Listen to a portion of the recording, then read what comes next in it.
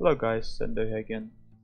So today's video is another 5 minute talk and uh, today we're gonna talk about the differences between Western side of Splatoon and then Japanese side of Splatoon, competitively in specific.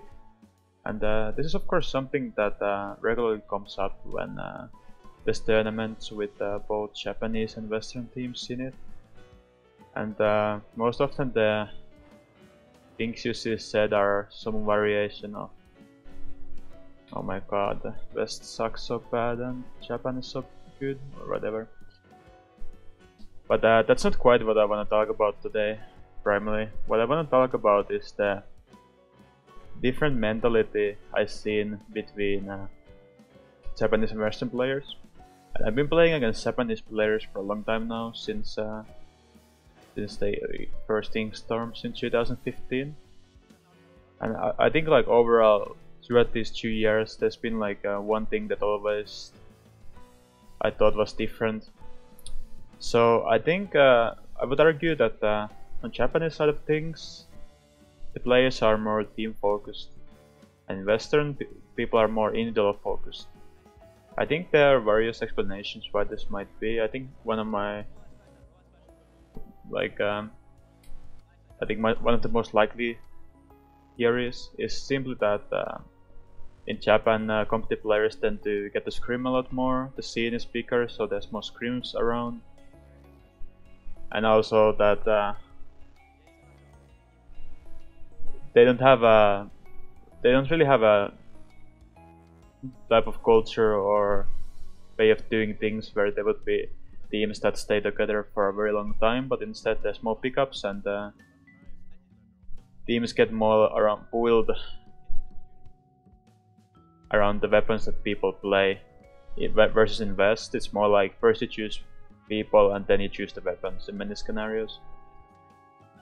And uh, I think just the thing that you see like Western like um, competitive players do much more like solo and not so much scrims. So they kind of developed this mindset where it's in individual before the team basically. Because you, know you don't get that much team practice so I think it's natural why this will happen. But where, where this shows is uh, especially lack of uh, like inking weapons. Like even the lineup we run is definitely very light on inking there's not really like any dedicated support player but I think this is the case for many teams. And you know how common Brella was in Inkergalactic Cup 2 just last weekend is just one example of this I think.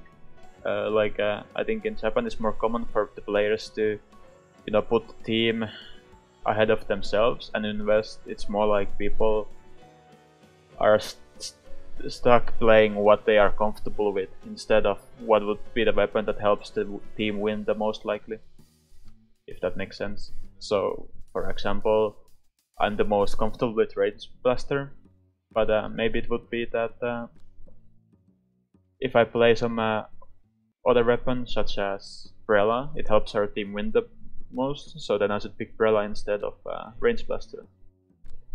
And uh, I think this is something that uh, almost almost every team have have this in some form where people are stuck playing weapons they are the most comfortable comfortable with and are very resilient in changing weapons to better fit their uh, playstyle. Or not playstyle, I mean to fit their team basically. And uh, I don't think actually individual skill wise West is that far away from Japan. I think uh, maybe the best Japanese players have better individual skill as well, but I don't think that's really where the difference is made. I think it's just the team play where the difference comes. And yeah, I think that's just about what I want to talk here. Any comments? Please leave some and uh, yeah. Thanks for watching and see you guys next time.